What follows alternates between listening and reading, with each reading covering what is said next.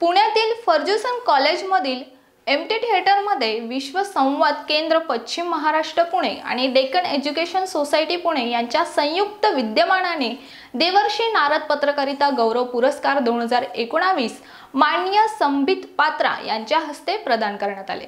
या पुरस्काराचे हे नववे वर्ष असून यावर्षी ज्येष्ठ पत्रकार पुरस्कार श्याम अग्रवाल ते आचका आनंदचे आहेत.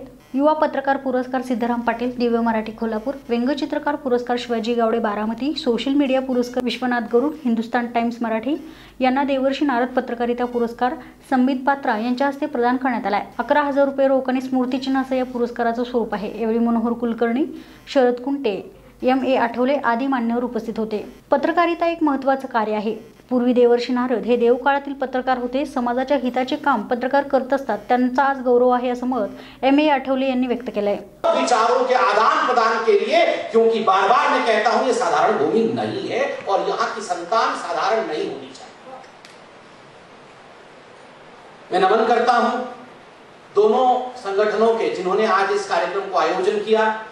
विश्व संवाद केंद्र, देखिए संपन्नता के लिए संवाद अनिवार्य है।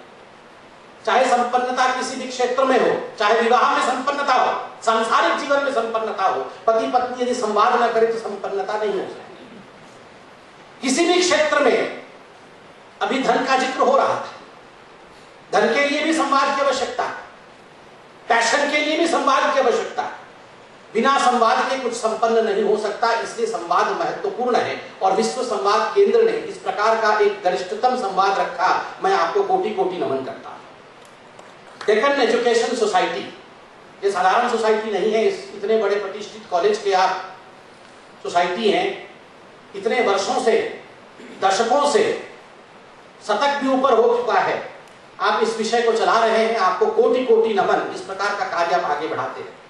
पंतप्रधान नरेंद्र मोदी यांनी फर्ग्युसन महाविद्यालयापासून आपल्या निवडणुकीच्या प्रचाराची सुरुवात केली होती. पत्रकाराचं काम खूप संघर्षमय असतं. पत्रकार हे संविधानाचे चौथे स्तंभ मानले जातात. त्याला पेलण्याचं काम तुम्ही करत आहात.